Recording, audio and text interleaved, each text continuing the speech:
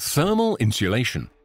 Our fiberglass profiles have excellent insulation properties as their thermal conductivity is low, significantly lower than materials such as steel or aluminium. This means that the profiles reduce the size of thermal bridges and enable energy-efficient joints between internal and external surfaces.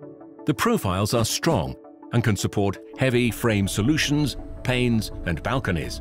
They are also used in highly insulating frames for doors and facade solutions.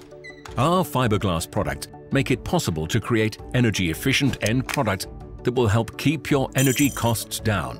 Fiberline. Create more with less.